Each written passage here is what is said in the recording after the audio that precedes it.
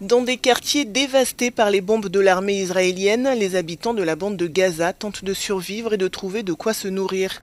Mais dans les magasins, les réserves s'épuisent. Ceux qui ont encore des stocks de nourriture sont pris d'assaut. C'est le cas de ce supermarché qui fait face à des habitants désespérés. Nous avons besoin de tout. Nous avons besoin de sécurité, nous avons besoin de paix, nous avons besoin des choses les plus élémentaires. De l'électricité, de l'eau, de la nourriture, des médicaments pour les enfants. Il n'y a rien. Le programme alimentaire mondial a commencé à donner des bons qui peuvent être échangés contre de la nourriture dans les supermarchés qui fonctionnent encore. Mais face à cette tragédie humanitaire, l'ONU lance un appel désespéré pour qu'un accord sur l'entrée de l'aide soit trouvé, car depuis les négociations piétinent. Les gens font la queue pour acheter ce qu'ils peuvent avec leurs bons, mais les magasins vont bientôt manquer de produits alimentaires de base. Les stocks ne pourront pas atteindre les magasins ni les habitants, en raison des infrastructures endommagées et du manque de carburant. Le nombre de boulangeries avec lesquelles nous travaillons diminue de jour en jour.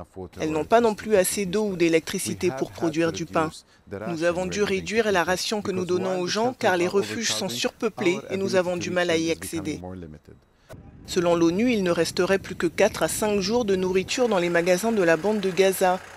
En attendant, des centaines de milliers de Palestiniens déplacés ont besoin d'une assistance d'urgence.